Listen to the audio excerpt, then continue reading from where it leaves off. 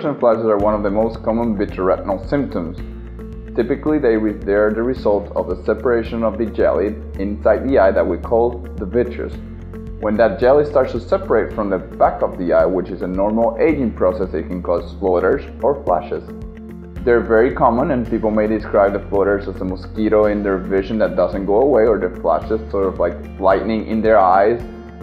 When that happens, I suggest that a examination by a trained ophthalmologist or retinal surgeon should be done in order to look for the problems that may arise from the separation of the jelly, which include retinal tears that are the start for what's called a retinal detachment. Fortunately, most flashes and floaters do not result in any damage to the retina. However, a thorough evaluation should be done in order to assess this. Retinal detachment is when the retina, or the film of the camera in the back of the eye, separates from the wall of the eye. When this happens, the patient will complain of vision loss.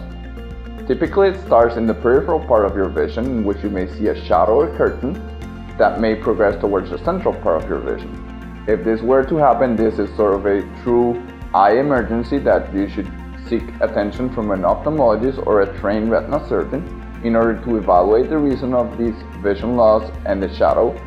Oftentimes when there's a retinal detachment, surgery will be performed in order to repair the retina and reestablish your sight. The first step in treating vitreoretinal diseases should be a thorough evaluation by a retinal surgeon. Most vitreoretinal diseases can be treated in the clinic either with injection of medications or sometimes laser. When retinal detachment happens, which is a serious emergency, surgery should be performed. Sometimes there's office procedures that can be done for retinal detachment, but most often there will be surgery done in the surgery center, in which we perform a day surgery under local anesthesia in general to repair retinal detachment and restore the vision. This surgery may require some position of your head to help reattach the retina.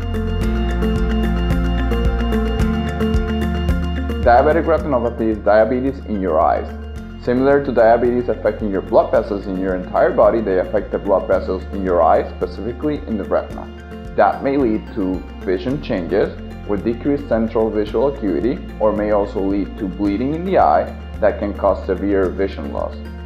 The most important aspect of diabetic retinopathy is the amount of time you've had diabetes as this is the biggest risk factor of developing diabetes in your eyes.